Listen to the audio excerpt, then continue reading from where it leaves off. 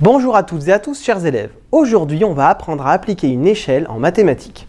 Sur un exemple ici, on a un plan de maison à l'échelle 1 centième. On va voir à quoi ça correspond. Euh, la salle à manger est représentée par un rectangle de 8 cm de long par 6 cm de large. Alors, faisons un petit dessin.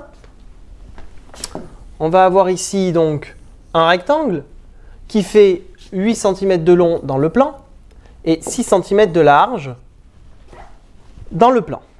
Et on va se demander, nous, bah, dans la réalité, à quoi correspondent ces longueurs Eh bien, c'est ça une échelle. C'est ce qui permet de passer des longueurs du plan à la réalité et vice-versa. Donc la notion centrale euh, de l'échelle en mathématiques, c'est la notion de proportionnalité. En fait, l'échelle relève d'une situation de proportionnalité entre les longueurs du plan et les longueurs réelles. Donc maintenant que nous savons ça, on va pouvoir faire un tableau de proportionnalité avec pour grandeur, eh bien, les longueurs du plan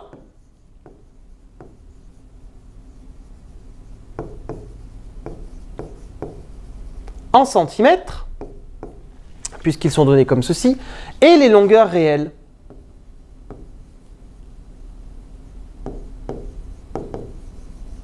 Mais attention, là où il faut être subtil avec l'échelle, c'est que les longueurs doivent être dans la même unité. C'est-à-dire que les longueurs réelles devront être aussi en centimètres. Et ça, c'est très important pour la suite.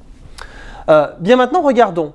Nous, on connaît la longueur du plan 8 cm. On connaît la longueur du plan 6 cm. Et je vais donc avoir besoin d'une troisième colonne qui va correspondre en fait à notre échelle 1 centième.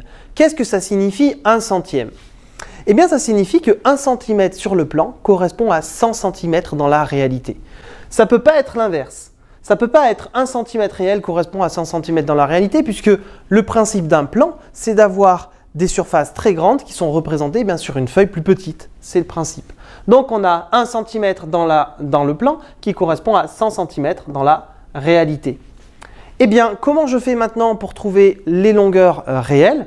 Eh bien je m'aperçois, comme c'est un tableau de proportionnalité, qu'on multiplie par 100 la ligne du haut pour avoir la ligne du bas. Ce qui va nous donner ici, en remplaçant les trous par des lettres, A, c'est donc 8 fois 100, c'est-à-dire 800 cm. Donc, 8 mètres dans la réalité. Et petit b, eh bien ça va faire 6 fois 100, c'est-à-dire 600 cm, donc 6 mètres dans la réalité.